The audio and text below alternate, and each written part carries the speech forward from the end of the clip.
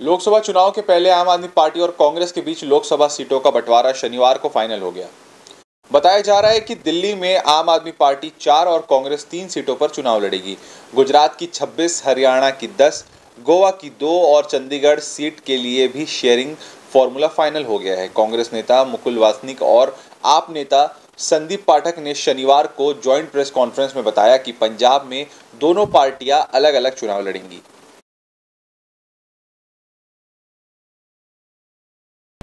Delhi Lok Sabha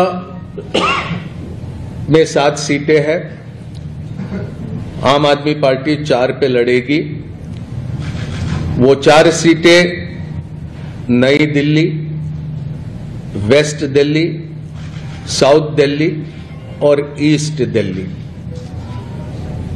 Congress party तीन सीटों पर दिल्ली में चुनाव लड़ेगी। चांदनी चौक, नॉर्थ ईस्ट और नॉर्थ वेस्ट।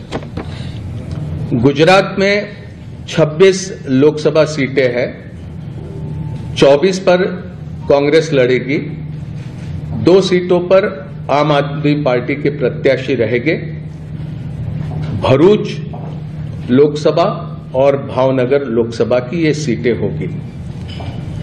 हरियाणा में 10 लोकसभा सीटों में से 9 सीटों पर भारतीय राष्ट्रीय कांग्रेस लड़ेगी और एक सीट जो कुरुक्षेत्र की है, वहाँ पर आम आदमी पार्टी के प्रत्याशी लड़ेंगे।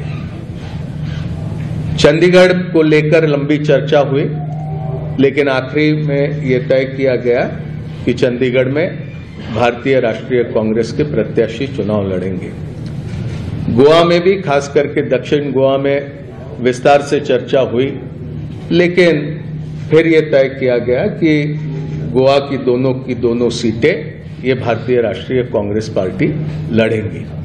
तो संक्षेप में ये सीटों को लेकर ये जानकारी आपके समक्ष रखनी थी। तो सीटों के बारे में मुकुल जी ने सारे स्टेट्स का डिटेल में बता दिया है।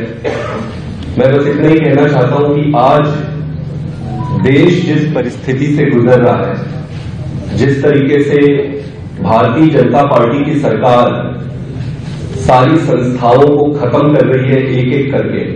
जिस तरीके से चुनावों की चोरी हो रही है, जिस तरीके से चुनावों की चोरी करने के लिए, चुनावों को जीतने के लिए विपक्षी नेताओं को जेल में डाला जा रहा है। जिस तरीके से किसानों के साथ अन्याय हो रहा है, जिस तरीके से पूरे देश की जनता बेरोजगारी, महँगाई से जूझ रही है, आज देश को एक ईमानदार और मज़बूत विकल्प की ज़रूरत है।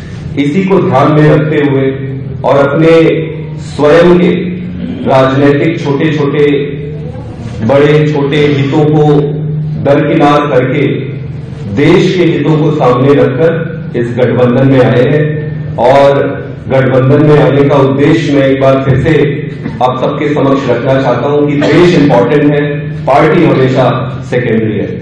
न्यू वीडियोस की अपडेट पाने के लिए सब्सक्राइब करें इंडियन न्यूज़ को। और बेल आइकन को दबाएँ।